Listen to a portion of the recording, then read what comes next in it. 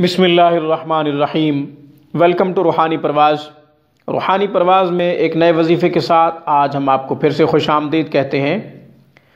सामिन कराम, आज की वीडियो में तलबा व तालबात के लिए इम्तहान में कामयाबी का बेहतरीन कुरानी अमल आपकी खिदमत में पेश करते हैं।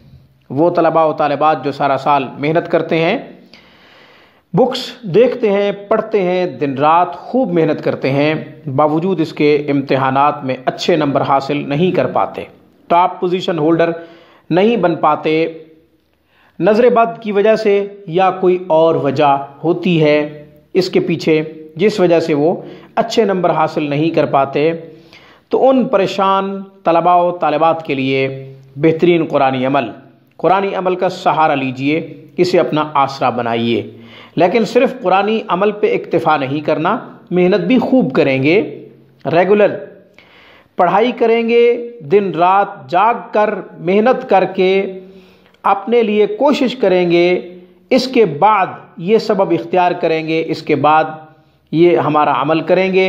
इन अल्लाह पेपर के वक़्त अल्लाह की खूब गैबी मदद आएगी, अल्लाह की खूब गैबी नुसरत आएगी। इन इस्तेजार होगा। यानी वो चीज़ें जो पेपर में मौजूद होंगी या जो आपसे पूछी गई हैं या उनको जो दरकार हैं इन उसका इस्तेजार होगा। वो जहन में इन उस वक़्त आ जाएँगी और फिर कलम काम करेगी, आपके हाथ हरकत करेंगे इन वो लिखेंगे जो उन्होंने चाहा है। वो लिखेंगे जो उनको दरकार है। वो जवाबात लिखेंगे जो वहाँ लिखने चाहिए। इन फिर गैस नहीं, अंदाज़ा नहीं एक्यूरेट लिखेंगे। जब आप सौ फ़ीसद सही लिखेंगे तो इन बेहतरीन मेरिट बनेगा।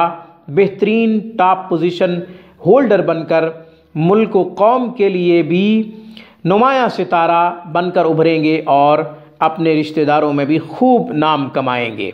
अमल क्या है? अमल आपकी खिदमत में पेश करते हैं।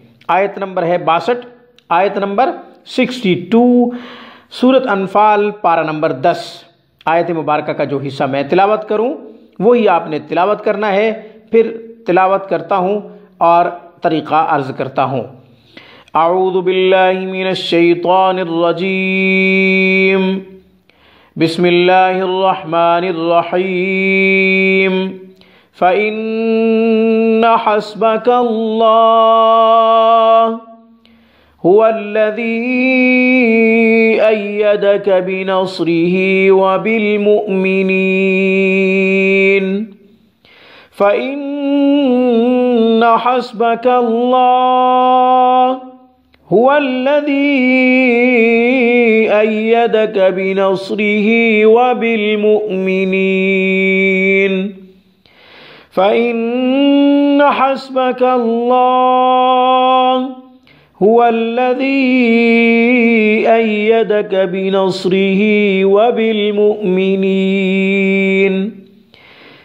ये आयत मुबारक, आयत नंबर है बासठ, सूरत अनफाल, पारा नंबर दस।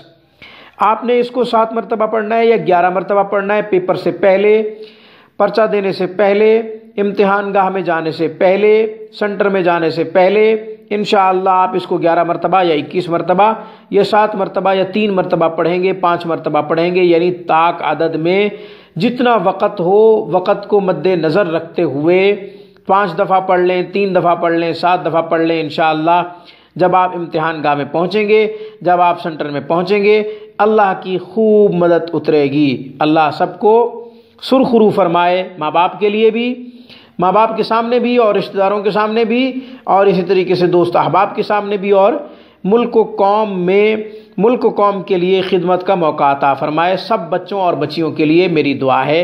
इसी दुआ के साथ मुझे इजाज़त दीजिए। रूहानी प्रवास को सब्सक्राइब करना मत भूलें। Thanks for watching my video अल्लाह हाफिज़। अल्लाह निगेबान।